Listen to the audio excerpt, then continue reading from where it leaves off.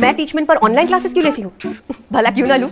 ये इंडिया का एक लौता प्लेटफॉर्म है जो 100% फ्री है, बिना किसी लिमिट के। और नई शुरुआत करने के लिए इससे बेहतर और क्या होगा? बस, एक स्मार्टफ़ोन चाहिए और सुहानी शर्मा की ऑल इंडिया इंग्लिश क्लासेस हो गई शुरू। इसीलिए तो कहते हैं कि टीचमेंट पर टीचिंग आसान है। तो आज ही डाउनलोड करें टीचमेंट इंडिया का number one teaching app hello everyone welcome to my YouTube channel आप सभी का स्वागत है हमारे आज के इस वीडियो में। और फ्रेंड्स यहाँ पर एक सब्सक्राइबर ने पूछा था कि, सर, अगर रेलवे में, यानी कि एनटीपीसी का एग्ज़ाम हो या ग्रुप डी का एग्ज़ाम हो, अगर यहाँ पर प्रोसेस के दौरान, यानी कि जो आपका पूरा क्वालिफाइंग प्रोसेस है, उसके दौरान लास्ट में अगर ऐसी सिचुएशन बन जाती है कि मान लीजिए एक सीट बची है और उस एक सीट पर दो स्टूडेंट क्वालिफाई कर रहे हैं, जिनके मार्क्स बिल्कुल सेम है, उनकी कैटेगरी भी बिल्कुल सेम है और उनका मेडिकल स्टैंडर्ड भी सेम है तो किसको यहाँ पर जॉब मिलेगी और किस आधार पर जॉब मिलेगी? तो देखिए, यहाँ पर जो है आप लोगों के लिए फाइनल आंसर मैंने ढूंढा है, यानी कि पूरा ऑफिशियल आंसर है और ये जो आपका ऑफिशियल नोटिफिकेशन है, उसमें भी दिया गया है। ठीक है? ये ग्रुप डी वाला मैंने खोला हुआ है, आप लोग चाहे तो एनटीपीसी वाले में भी देख सकते हैं document verification and empanelling of candidates यहाँ पर आपको देखिए, यहाँ से पढ़ना स्टार्ट करना यहाँ पर क्या लिखा हुआ है? इन case of two or more candidate securing same marks their merit position shall be determined by age criteria मान लीजिए यहाँ पर एक पोस्ट है, मान लेते हैं ओबीसी की कोई पोस्ट है और उस पर दो ओबीसी के कैंडिडेट क्वालिफाई कर रहे हैं सेम मार्क्स के लिए।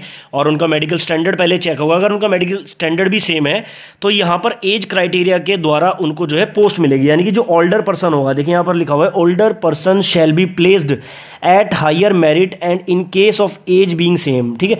पहले बात करते हैं कि उनकी एज चेक करी जाएगी, जिसमें एज ज़्यादा होगी, यानी कि जिस पर्सन की एज ज़्यादा होगी, वो वाली पोस्ट उसको मिल जाएगी।